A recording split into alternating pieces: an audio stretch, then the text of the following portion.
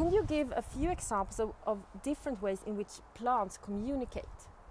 Oh, well, mm, the, the plants are uh, communicating all the time. All the plants that are here around us are exchanging information about the environment where they live inside.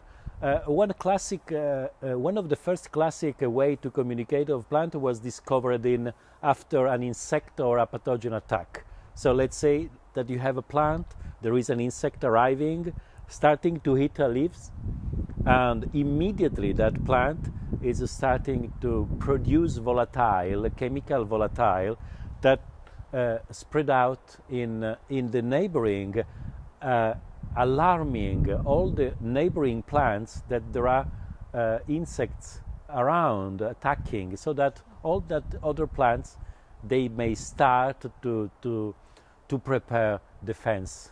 Oh.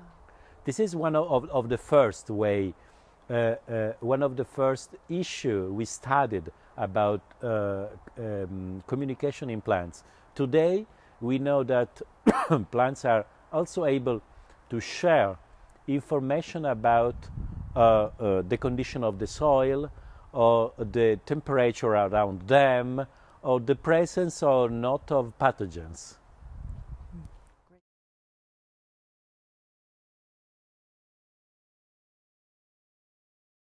Oh, well, uh, uh, normally we, we, we make a lot of mistakes about plants uh, because we, normal, uh, we humans, we normally feel that plants are passive uh, organisms able to do nothing.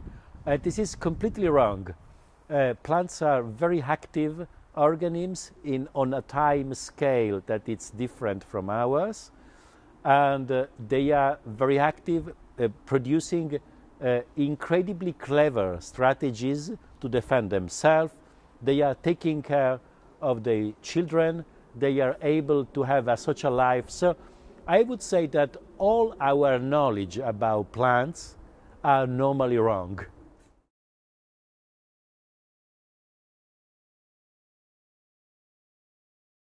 Well, this is a, a very important point because uh, um, we are depending on plant.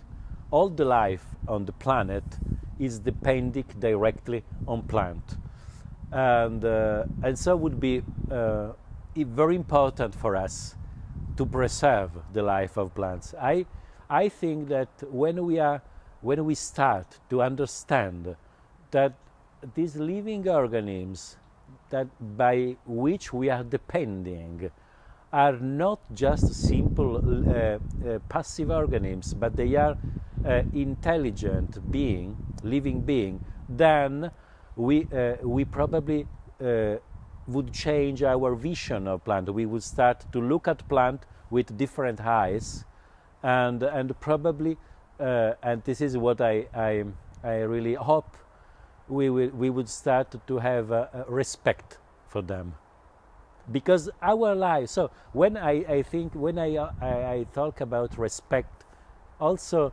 right would be important to have right for plants is not for the plants them in themselves it's for, for us. Because we are depending from them